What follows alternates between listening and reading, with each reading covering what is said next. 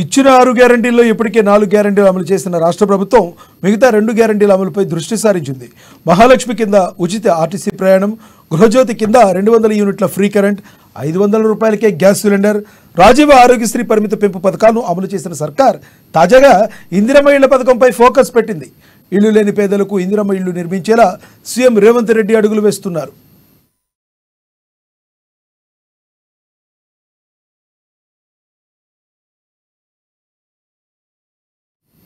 ఇళ్ళు లేని పేదలకు ఇంటి స్థలం ఇంటి నిర్మాణానికి ఐదు లక్షల రూపాయల ఆర్థిక సహాయం అందించడంపై సీఎం రేవంత్ రెడ్డి కీలక నిర్ణయం తీసుకున్నారు. ఈ నెల పదకొండున రాష్ట్ర ప్రభుత్వం ఇందిరమ్మ ఇళ్ళ పథకాన్ని ప్రారంభించాలని ప్రభుత్వం నిర్ణయించింది. సచివాలయంలో ఇందిరమ్మ ఇళ్ళ పథకంపై సమీక్ష నిర్వహించిన రేవంత్ రెడ్డి పథకం ప్రారంభించేందుకు అవసరమైన ఏర్పాట్లు చేయాలని ఆదేశించారు. ఇళ్ళు లేని అర్హులందరికీ పథకం వర్తింప చేయాలని అందుకు అనుగుణంగా వెంటనే విధి విధానాలు తయారు చేయాలని సూచించారు. దీంతో పాటుగా తెలంగాణ ఉద్యమంలో కేసుల పాలైన ఉద్యమకారులకు రెండు వందల యాభై గజాల ఇంటి స్థలం అందించాలని సీఎం నిర్ణయించారు.